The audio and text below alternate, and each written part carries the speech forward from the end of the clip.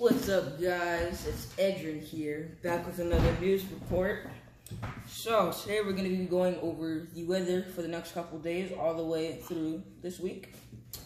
So, first off, Saturday, tomorrow, it's going to be a little cloudy, you know, 58 degrees, you know, not not not that bad. Cold, but it's not that cold. Sunday, we're going to get a little bit of sunshine, also 58 degrees. It'll be a little warm, so get your children out there and get some exercise.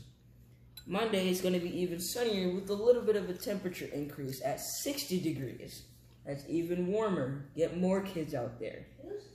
On Tuesday, we're going to rain, so we're going to be playing lots of family games and exercising our minds. Call me Carl Zeus. Okay, um, Wednesday, it's going to be a little partly cloudy as I can see.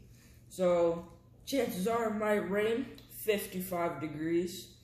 But you never know, so, you know, keep them outside until the rain starts coming.